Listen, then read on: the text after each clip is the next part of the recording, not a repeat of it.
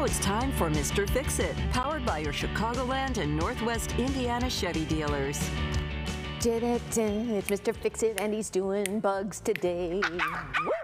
What's up? I am doing bugs. Hey, before we start, can I give a hearty happy anniversary to Paul Konrad, 25 years. Yeah, he's Isn't not that here. amazing? He's, No, he doesn't care dead. about you, Lou. But we're I know. Yeah. But has know. anyone brought up his famous weather map yet in his 25 years? The thing that oh, should have got, oh, or do we well, not I want think, the I think that's star been people? banned. Do we? We don't want the next star No. people to see that. No. Okay. We need our jobs, or Lou. or we it'll need our be it'll be it'll be his farewell uh, show. Mm-hmm. That's right. Good point. Okay. Anyway, uh, happy anniversary, Paul. And um, let's talk about bugs now. Uh, flying insects inside the home can be a real problem, and a lot of people go for these sprays, which I'm not really a huge fan of. So I've got some uh, alternatives that I think that you really like. Now let's talk about your fruit basket. You got the tomatoes coming in, and maybe you got fruit flies everywhere uh, inside there. You want to make sure that the fruit is clean, but there's a couple of options you have here. Terro makes a fruit fruit fly trap, and then this other one called Rescue.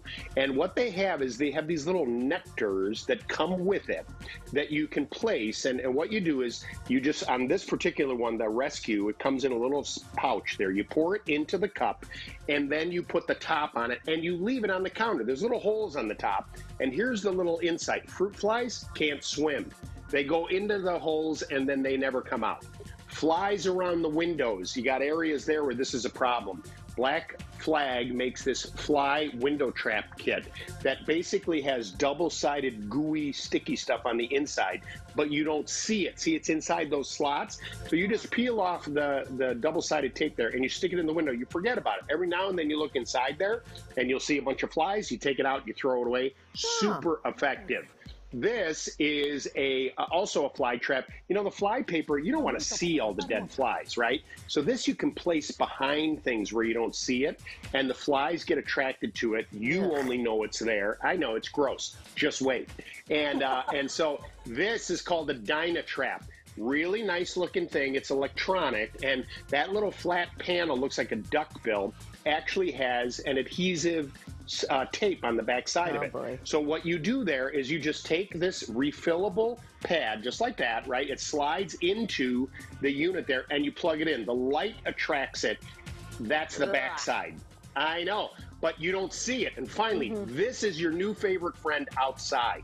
This is the outdoor fly trap. Oh my God, this thing will be so full of flies you won't have an idea. You put water in it, and then there's an attractant. This is outdoor only. I do not want you using this inside because the attractant that I'm cutting open here doesn't smell that good.